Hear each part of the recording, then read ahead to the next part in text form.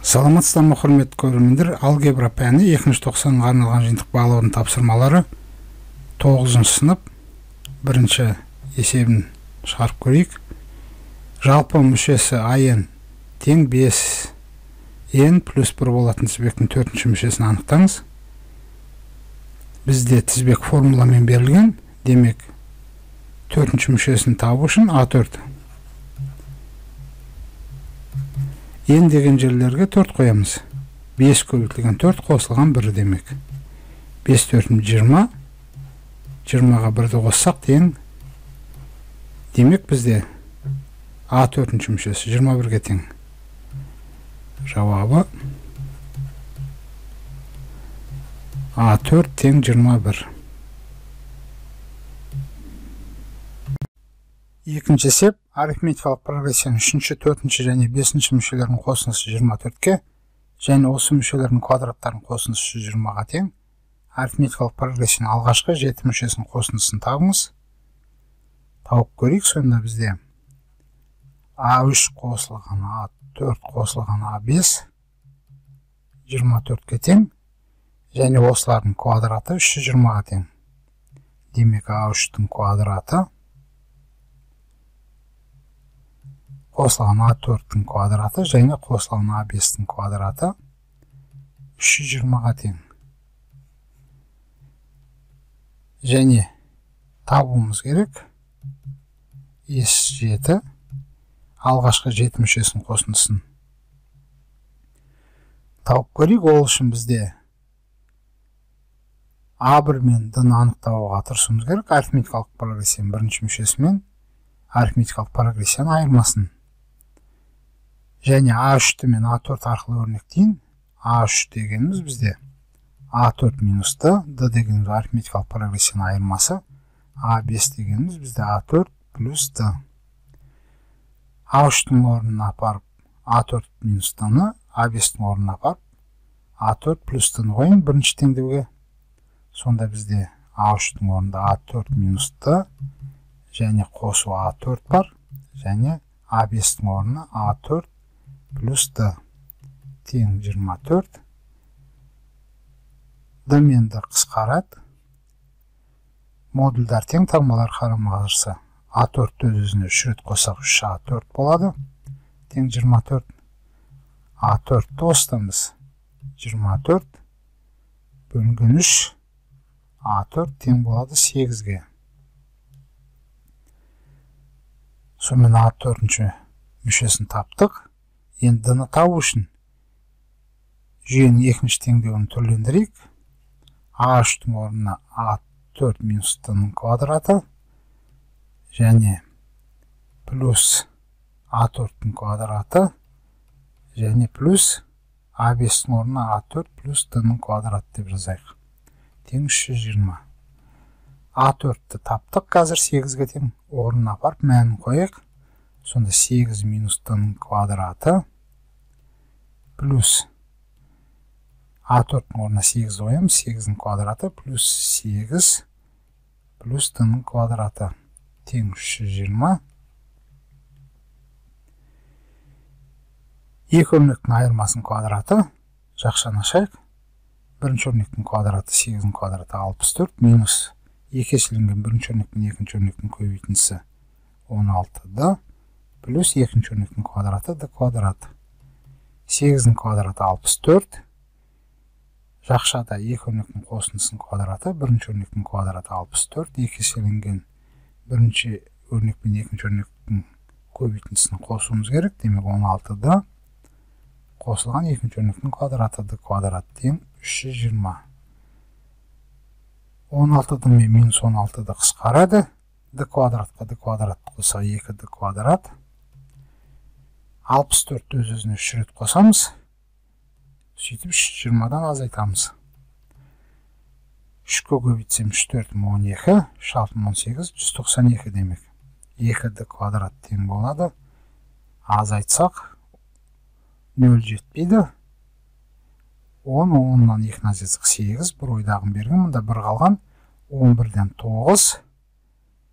екі қалады мұнда екі қалған екіден бірді азайтсақ бір қалады жүз жиырма сегіз осыдан бізде д квадрат тең болады.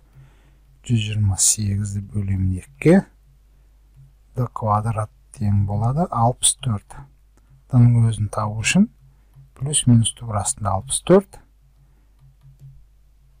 түбір астында алпыс төрттен бізде сегіз шығады плюс минус сегізге тең. Бізде және есептің берілгенде арифметикалық прогрессия өспелі ма кемелі ма айтылмаған сондықтан екі жағдайды қарастырамыз. Д тең сегіз және д тең минус сегіз деп. Сонымен қарастырайық бұнда жазып қояйық тапқан нәрселерімізді а төрт а төрт тең сегіз деп таптық д тең плюс минус сегіз деп таптық. Сонымен мына жерді өшіре тұрайын.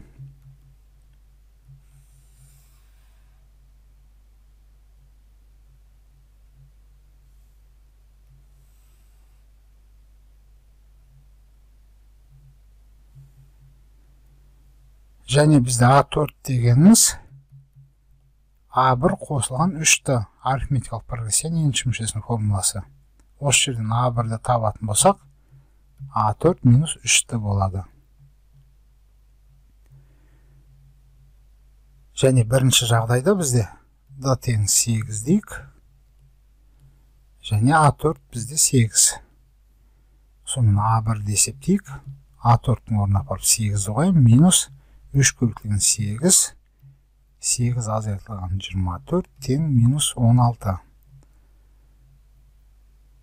сонымен бірінші жағдайда арифметикалық прогрессияның айырмасы сегіз бірінші мүшесі минус он алты екінші жағдайда бізде д тең минус сегіз деп алайық а біріміз сонда а төртіміз сегіз минус үш көбейтілген минус сегіздің орнына апарып қоямыз минус сегізді сонда сегіз минус б минус плюс болады плюс жиырма төрт тең отыз екі болды және ес жеті дегеніміз бізде. Алғашқы n мүшесінің қосындысының формуласы бойынша екі а бір қосылған. Алты д бөлінген екі көбейтілген жеті. Бірінші жағдайда есептейік ес жеті неге тең?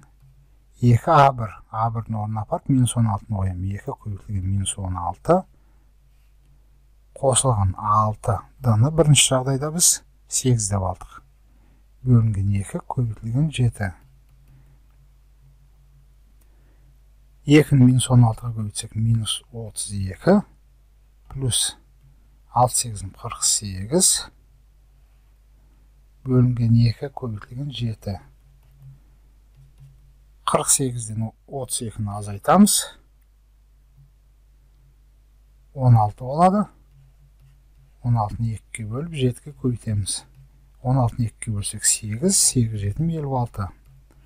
Сонымен бірінші жағдайда бізде елу алты шықты екінші жағдайда неше шығатынын көрейік. Ес жеті. Екінші жағдайда бізде д минус сегіз а біріміз отыз екі. Екі көбейтілген отыз екі қосылған. Алтыда алты көбейтілген дымыз минус сегіз.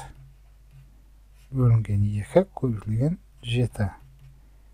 Алпыс төрт болады екі отыз екі алпыс төрт минус қырық сегіз. Бөлінген екі көбейтілген жеті. Сонымен алпыс төрттен қырық сегізді азайтайық. Он төрттен сегізді азайтсақ алты. Бестен төртті азайтсақ бір қалды он алты бөлінген екі көбейтілген жеті? Он алтыны екіге бөлсек сегіз сегіз жетіге бөлсек елу алты. Бізде екі жағдайда да елу алты шықты. Демек жауабын бір жауабын береміз. Жауабы бізде сонымен. Екі жағдайды есептегенде де ес жеті алғашқы жеті мүшесінің қосындысын тап деген елу алтыға тең болды. Үшінші есеп. Боен геометриялық прогрессияда b екі бөлінген b төрт тең төрт көбейтілген b сегіз бөлінген b он бір b екі тең он екі болса геометриялық прогрессияның алғашқы төрт мүшесінің қосындысын табыңыз тауып көрейік және мен геометриялық прогрессияның енші мүшесінің формуласын пайдаланып b екі b төрт b сегіз b он бірлерді түрлендірейін b екі дегеніміз бізде b бір көбейтілген q.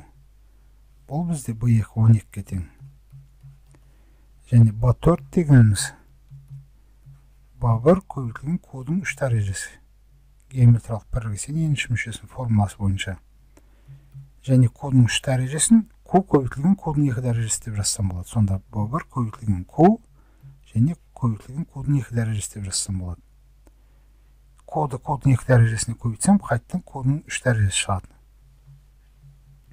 сонда бізде б бір көбейтілген q дегеніміз он екіге тең орнына қояйық сол кезде он екі q квадрат болады. Сол кезде б төртіміз он екі q квадрат болды. Және б сегіз дегеніміз бізде б бір көбейтілген қудың жеті дәрежесі. Бұны да түрлендірейік. Б бір көбейтілген q көбейтілген қудың алты дәрежесі деп жазсақ болады. Б бір көбейтілген қудың орнына он екіні қоямыз. Демек он екі қудың алты дәрежесі болады. Б он бір дегеніміз бізде. Б бір көбейтілген қудың оныншы дәрежесі және қудың он дәрежесін q көбейтілген қудың тоғыз дәрежесі деп жазсақ болады. Бұл бір көбейтілген q көбейтілген q-дің тоғыз дәрежесі. Бұл бір көбейтілген q-дің орнына он екіні қояйық. Он екі q-дің тоғыз дәрежесі болады. Және бірінші теңдікті түрлендірейік. B екі бөлінген b төрт. Және бөлу дейік b сегіз бөлінген он бір. Тең төрт деп түрлендірейік. Бөлшекті бөлшекке бөлгенде бөлінгіш бөлшектің өзін жазамыз. B екі бөлінген b төрт. Бөлуді көбейтумен ауыстырамыз. Және бөлшектің алым мен бөлімін ауыстырамыз. Екінші бөлгіш бөлшекте. Демек b он бірді үстіне алымына жазамыз. B сегізді астына бөліміне жазамыз. Тең төрт. Бөлшектерді көбейткенде алымдар көбейтіліп алымына жазылады бөлімдер көбейтіліп бөліміне жазылады. Және b екінің орнына мен он екіні қояйын. Бұл 11-дің орнына 12 көбейтілген q-дің 9 дәрежесін қояйын. Және b4-дің орнына 12 көбейтілген q-дің 2 дәрежесін қояйын. Және b8-дің орнына 12 көбейтілген q-дің 6 дәрежесін қояйын. Тең 4-ке тең 12-лер қысқарады. Мына он екі мен мына он екі келесі мына он екі мен мына он екі қысқарады.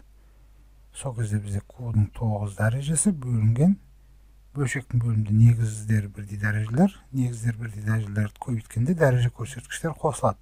Екіге алтыны қоссақ q-ның сегіз дәрежесі.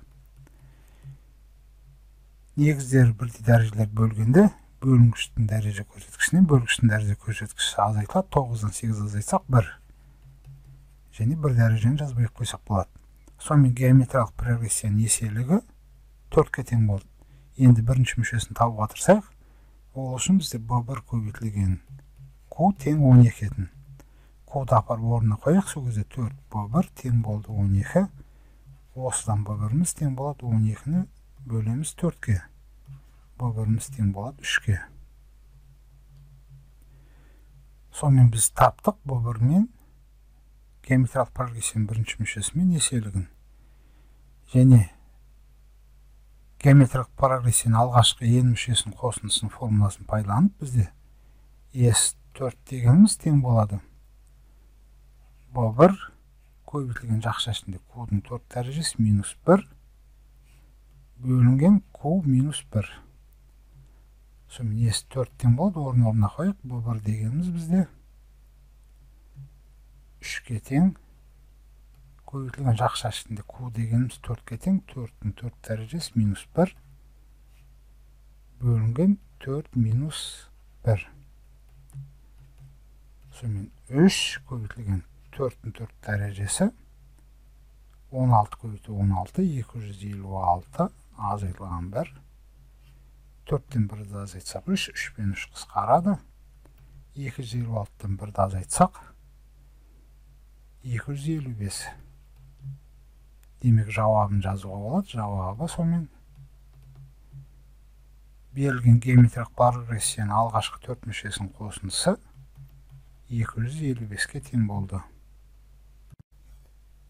төртінші есеп еселігі 0,5-ке тең болатын шексіз кемел геометриялық прогрессияның екінші және үшінші мүшесінің қосындысы 24-ке тең шексіз кемелі геометриялық прогрессияның қосындысы мен төртінші мүшесінің алтыншы мүшесіне қатынасын табыңыз.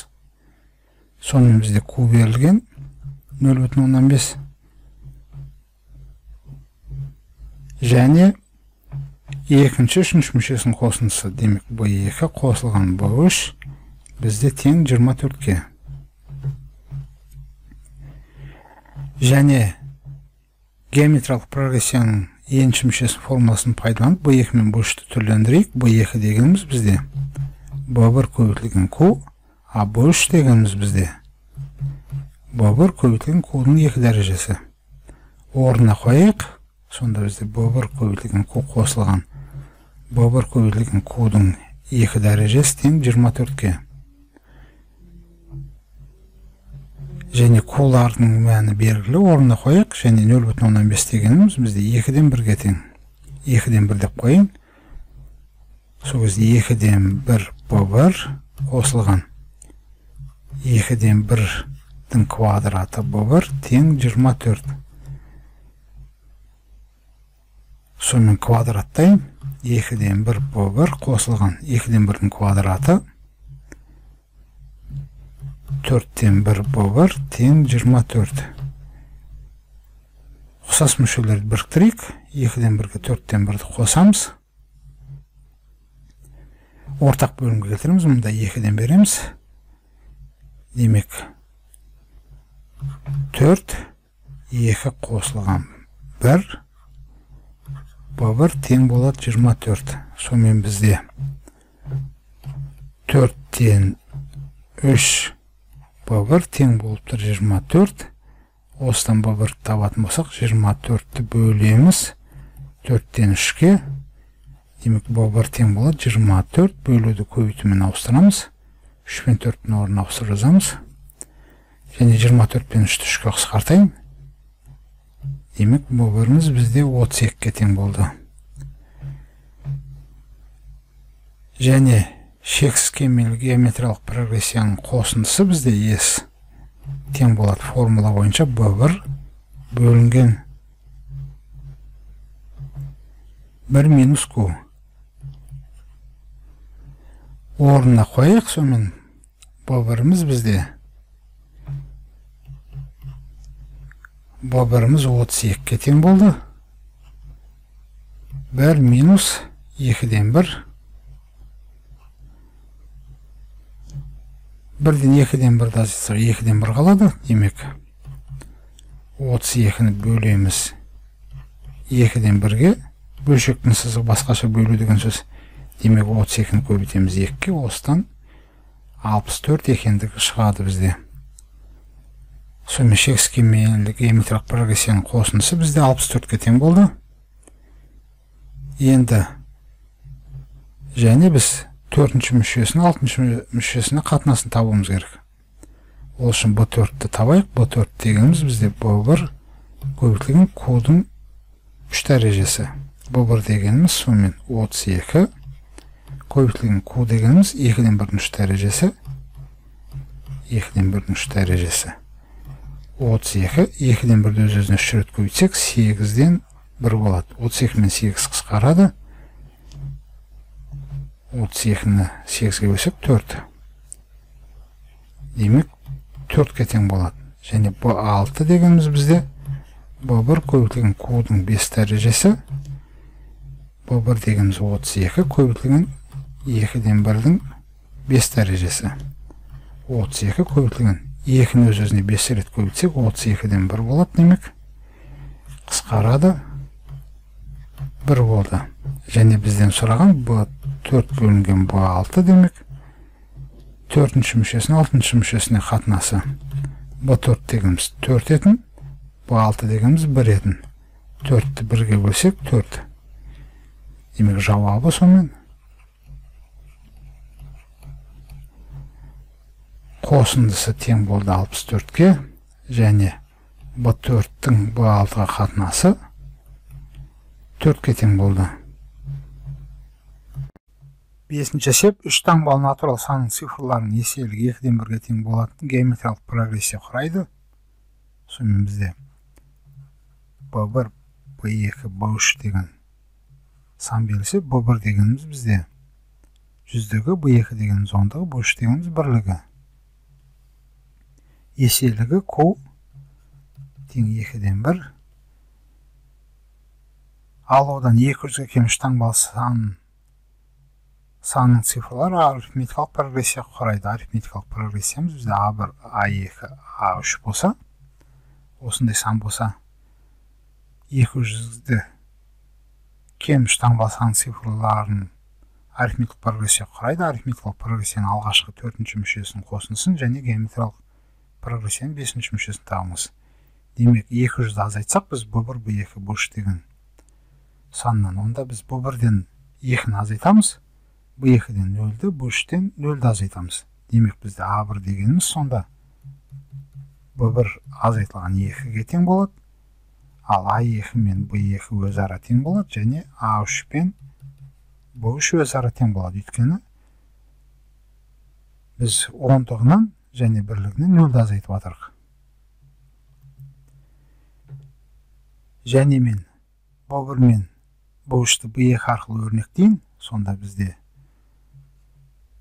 б екі дегеніміз б бір көбейтілген q болса геометриялық прогрессияның енші мүшесі формуласы бойынша осыдан бізде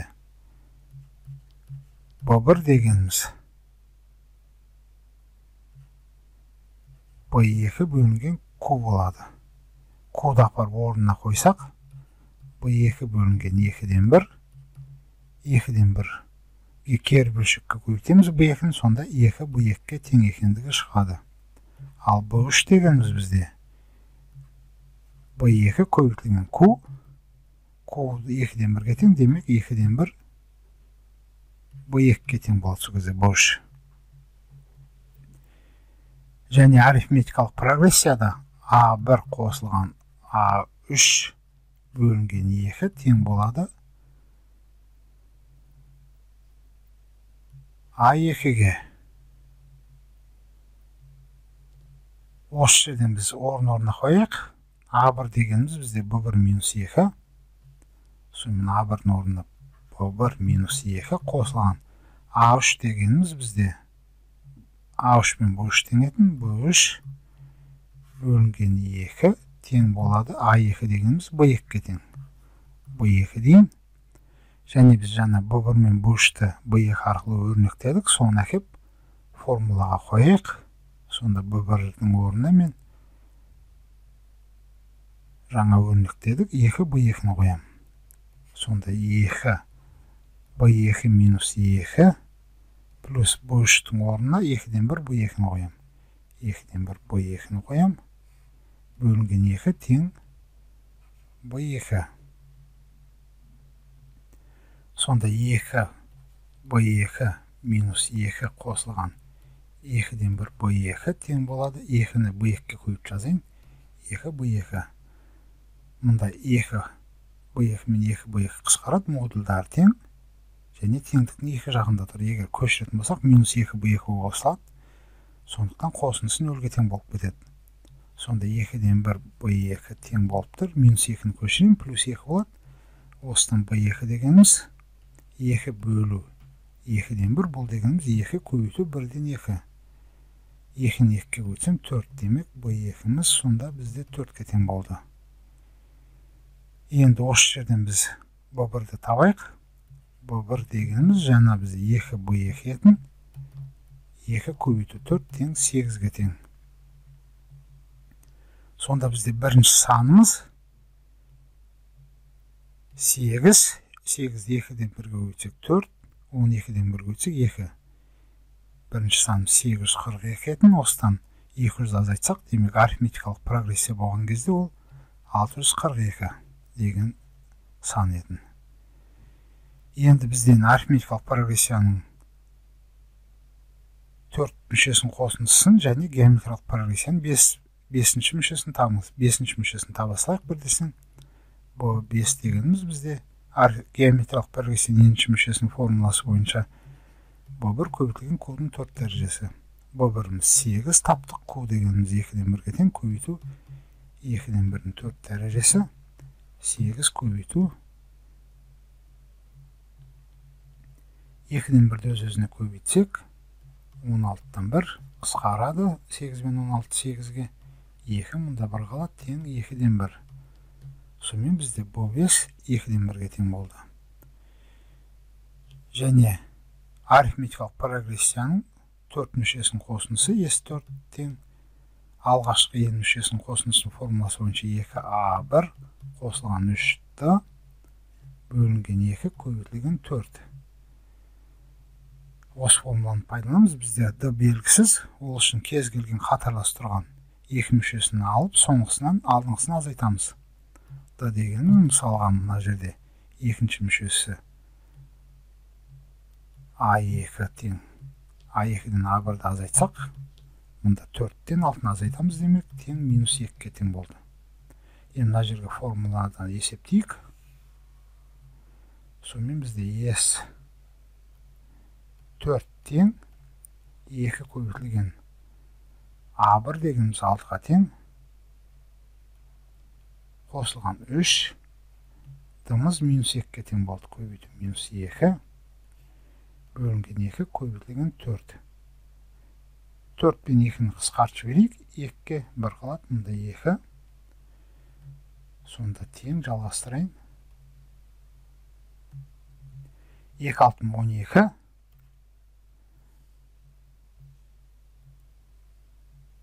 Он екі. Минус алты. Үшті минус алтыға өтсем осыны көбейтемін екіге. Он екіден алтыны алсам алты алтыны екіге көбейтсем он екі сонымен арифметикалық прогрессияның алғашқы төрт мүшесінің қосындысы он екіге тең болды жауабы. Бізден с төртті сұраған арифметикалық прогрессияның алғашқы төрт мүшесінің қосындысы он екіге тең. Және бұл бесті сұраған геометриялық прогрессияның бесінші мүшесі. Ол бізде екіден бірге тең болды. Тыңдағандарыңызға рахмет. Сау болыңыздар.